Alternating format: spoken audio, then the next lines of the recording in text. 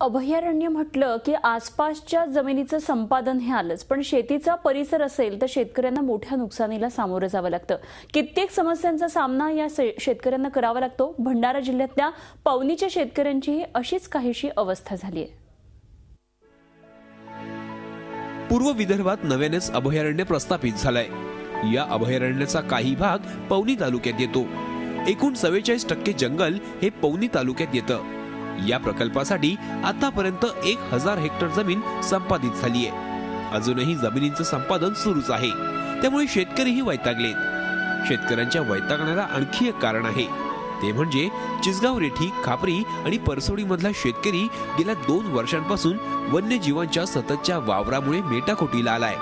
दिवसा ढवळ्याही हे शेतकरी शेतात जायला घाबरतात. काही शेतकऱ्यांनी तर वन्यजीवांच्या दहशतीमुळे शेती करणंच बंद केलंय. दोन वर्षात या शेतकऱ्यांचा मोठ्या प्रमाणात नुकसान झालंय.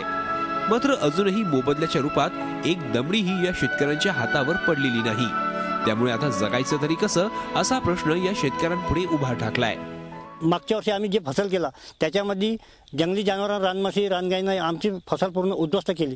त्याच्यामुळे आम्ही अगोदर फॉरेस्टला फॉरेस्टला आम्ही हा निवेदन दिलं का तुम्ही आपल्या जनावरांची बंदोबस्ती करा.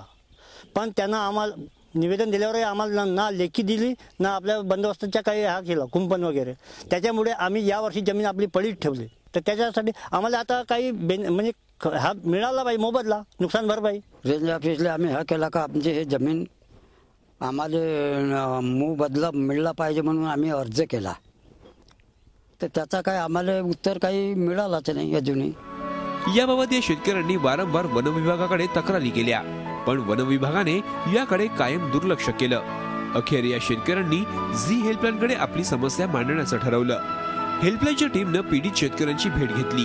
त्यांच्या शेताची पाहणी केली. चिसगाव रेठी खापरी आणि परसोडी या तीन गावातल्या शेतकऱ्यांची तब्बल शंभर एकरहून अधिक जमीन पडीक झाली आहे गेल्या काही वर्षांपासून या जागेवर कोणतंही पीक घेतलं गेलं नाही. पण काही शेतकरी अजूनही जीव मुठीत घेऊन शेती करतायत. अखेर झी हेल्पलाईनच्या टीमनं लोकप्रतिनिधींशी संपर्क साधला. त्यांनीही शेताची पाहणी केली. शेतकऱ्यांची ही समस्या लवकरात लवकर सोडवण्याचं आश्वासन त्यांनी दिलं. आता जिथं बघितलं पाच दहा एकर जागा असली तर कुंपण करता येण्यासारखं आहे. पण इकडे शेकडो एकर जागा आहे तर कुंपण महत्त्वाचं शक्यच नाही आहे आणि म्हणून अशा परिस्थितीमध्ये यांना मोबदला नक्कीच मिळाला पाहिजे. या मताचा मी आहे.